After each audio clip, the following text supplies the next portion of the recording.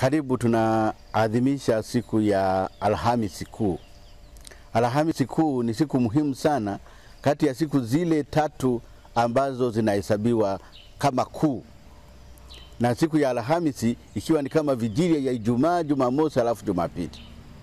Siku ya Alhamisi kwa kawaida asubuhi inaanza na mapadre wote wanaokuwa wamezunguka askofu wao na wanaadhimisha ibada takatifu ya misa na wanapoadhimisha ibada takatifu ya misa ni siku hiyo wanapokumbuka upadirisho ulipowekwa, na ni siku hiyo ambapo wanafanya ahadi zao, wanarudia ahadi zao, adhima yao ya upadre, wanarudia makusudi yao, wito wao, jinsi walivyosema ndio kama mapadre, kwa sababu Alhamisi Kuu ndio siku ambayo Bwana aliweka ekaristi takatifu sambamba na upadirisho sambamba na upadirisho, kwa sababu kazi kubwa ya padre ya kwanza kabisa ni kuadhimisha sadaka takatifu ya misa. Hivyo kwa namna hiyo ndio sababu siku hiyo wanaadhimisha misa na kufanya nini na kutoa ahadi zao, na ni siku hiyo hiyo vile vile asubuhi hiyo hiyo ambayo askofu jimbo au askofu yoyote yule anabariki mafuta matakatifu. Mafuta matakatifu hayo ni mafuta ya wagonjwa na mafuta ya wakatekumeni na kuweka wakfu mafuta ya krisma. Nasema wakfu kwa sababu mafuta ya krisma sio baraka ya kawaida. Mafuta ya krisma ndio yanayosaidia kuweka wakfu vitu vingine. Kwa mfano, padri anapopadirishwa anapakwa mafuta kwenye viganja vyake. Mtu anapobatizwa anapakwa mafuta ya krisma kichwani mwake. Mtu anapopata kipaimara anapakwa mafuta ya, ya krisma katika uso wake.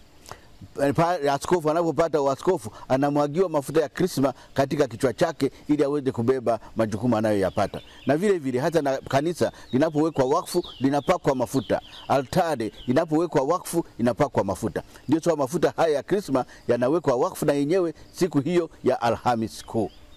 Hiyo ndio vitu vinavyofanyika Alhamisi Kuu asubuhi ingawa katika majimbo mengi, kwa sababu Alhamisi inakuwa vigumu kwa mapade kuja, huenda wengine wanaifanya Jumanne kabla au hata wiki moja kabla, lakini yote inaashiria siku ile ya Alhamisi Kuu.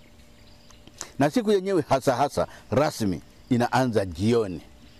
Ndio sababu nimesema Alhamisi ni vijiria ya kufa kwa Bwana wetu Yesu Kristu siku ya Ijumaa Kuu, na kwa kawaida inakuwa ni saa kumi. Hapo ndio tunaadhimisha karamu ya Bwana tukikumbuka siku ile ambapo Bwana wetu Yesu Kristo kabla hajashikwa alikutana na mitume. Na ndipo aliongea mambo mengi sana. Ukiwa unasoma katika Injili ya Mtakatifu Yohana kuanzia karibu sura ya kumi na nne, kumi na tano, kumi na sita, kumi na saba mpaka kumi na nane. Zote zinaongelea juu ya karamu, kwa sababu pale ndipo aliongelea mambo mengi sana ya kuwaasa, mambo mengi sana ya kuwafundisha, mambo mengi sana ya kuwaachia ambayo wataweza kutembea nayo na baadaye kwa msaada wa Roho Mtakatifu wataweza kuyapata zaidi. Lakini pale kuna mambo matatu muhimu sana ambayo lazima kuyasema. Jambo la kwanza, aliwaosha miguu, aliwaosha mitume wake miguu. Ni simulizi zuri, tunamkuta tunamkumbuka Petro anasema, mimi hauwezi kuniosha. Mwisho akasema, kama hivyo hautakuwa pamoja nami, ambapo Kristo alitaka kutuonyesha Ukristo ni kitu gani. Ukristu ni upendo, Ukristu ni utumishi. Na kila mmoja yeyote yule, unapojiita Mkristu, ukipata fursa yoyote ile, iwe madaraka, iwe mali, sababu yake ni kwa ajili ya kusaidia wengine, ni kwa ajili ya kutumikia wengine. Hii ni kama muhimu sana, na ndio sababu siku hiyo kwa kawaida mapadre katika sadaka takatifu ya misa hilo Alhamisi wanaosha miguu ya waamini wao, wanaogosha miguu ya waamini wao na bahati nzuri Baba Mtakatifu mara hii amepitisha kabisa kwamba hakuna ubaguzi pale, akina baba na akina mama wote waoshwe miguu, wote waoshwe miguu, kwa sababu wote ni mtumishi wa wote, sio mtumishi wa akina baba peke yao. Ingawa bahati ile Petro, yani Yesu Kristo alikuwa na mitume wote walikuwa wanaume, lakini haimaanishi kwamba alikuwa anamaanisha kuwaisha wanaume peke yao. Hivyo anasema nimewapeni mfano, fanyeni hivyo hivyo. Hivyo tunapaswa kufuata ule mfano wa Bwana. Kitu cha pili alichokifanya ni ekaristi takatifu. Huu ndio mwili wangu, yaani twaeni mle wote, huu ndio mwili wangu. Utakaotolewa kwa ajili yenu. Hivyo alitupa mwili wake, alikuwa na asilia kila wakati.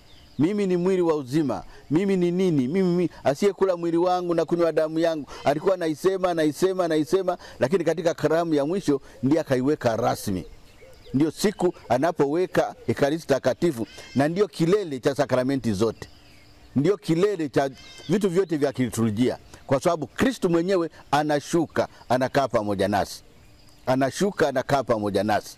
Katika maumbo ya mkate na maumbo ya divai, katika maumbo ya mkate na maumbo ya divai. Hivyo kila mara anakuwa niko pamoja nanyi mpaka ukamilifu wa dahali.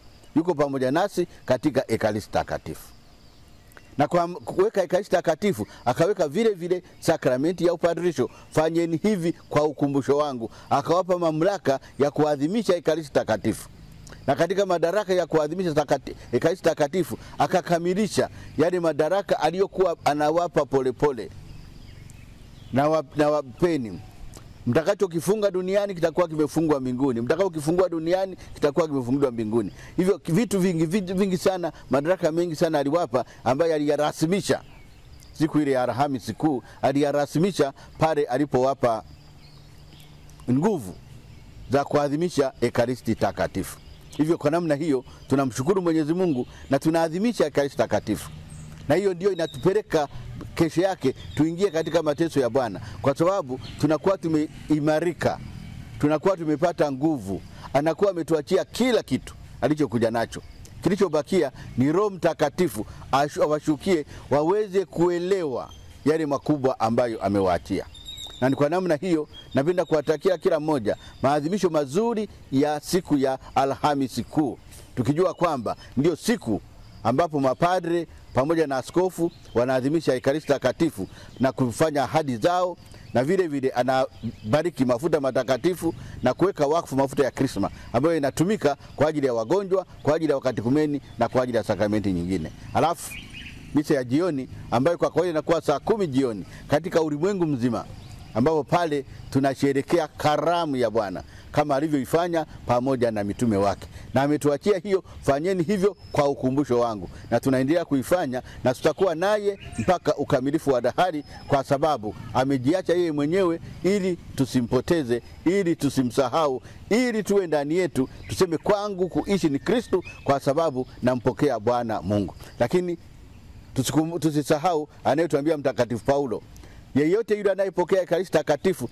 au amejitayarisha awe na moyo safi, awe na moyo mweupe, kwa sababu anayechukua na kula mkate wa Bwana bila kustahili anakuwa anakula yeye, anajihukumu yeye mwenyewe. Hivyo tumwombe kweli tuweze sote kuwa waangalifu, kuwa wema, kuwa watakatifu katika kupokea ekaristi takatifu. Nawatakia na Alhamisi Kuu nzuri itakayotutayarisha kuingia katika siku ya kifo cha Bwana wetu Yesu Kristo, ili baadaye tufe naye tuweze kufufuka pamoja naye. Tumsifu Yesu Kristu.